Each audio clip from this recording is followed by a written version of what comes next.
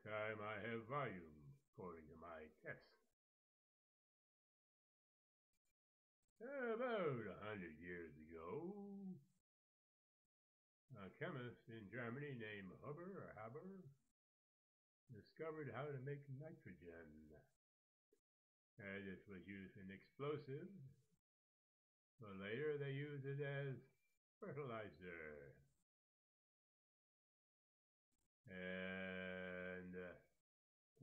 Need nitrogen.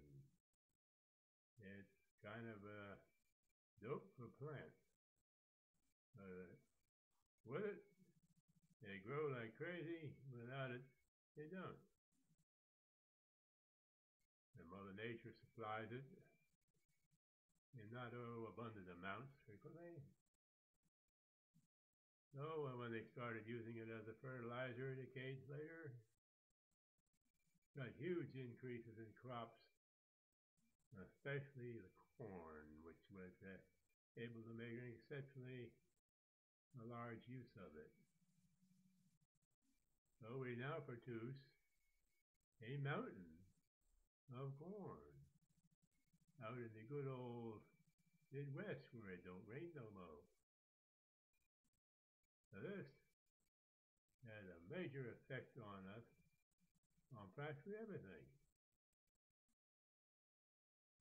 We uh, eat artificial food because of it.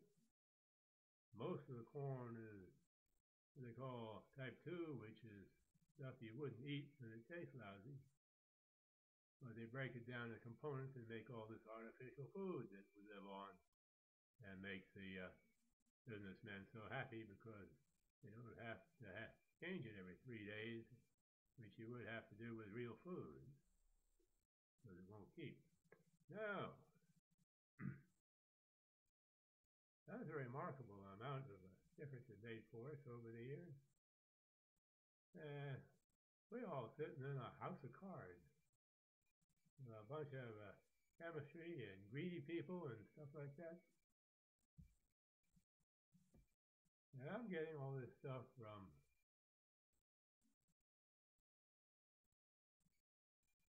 book, Beyond the Omnivore's Dilemma by Michael Pollan.